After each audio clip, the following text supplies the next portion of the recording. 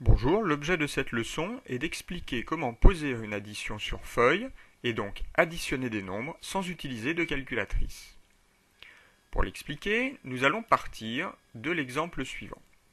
Nous allons ajouter 1832 plus 5684 plus 12658. Nous commençons par faire nos calculs par colonne, en commençant par la colonne de droite, celle des unités. 2 plus 4 égale 6, 6 et 8, 14, je pose donc 4 et je retiens 1. Ma retenue est posée en haut de la colonne qui précède. 3 plus 1 est égal à 4, plus 8, 12, plus 5, 17, je pose donc 7 et je retiens 1. 8 plus 1 égale 9, plus 6, 15, plus 6, 21. Je pose donc 1, et cette fois-ci, je retiens 2. 2 plus 1, 3, et 5, 8, et 2, 10. Je pose donc 0, et je retiens 1. 1 plus 1 égale 2. La réponse est donc 20 174.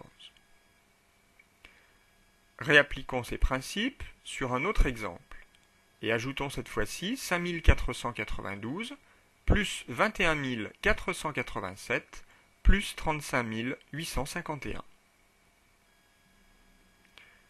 Je commence par ajouter les unités. 2 plus 7 égale 9, plus 1 égale 10. Je pose donc 0 et je retiens 1. 9 plus 1, 10, plus 8, 18, plus 5, 23. Je pose donc 3 et je retiens 2. 4 et 2, 6 et 4, 10 plus 8, 18. Je pose donc 8 et je retiens 1. 5 plus 1, 6 et 1, 7 et 5, 12. Je pose donc 2 et je retiens 1.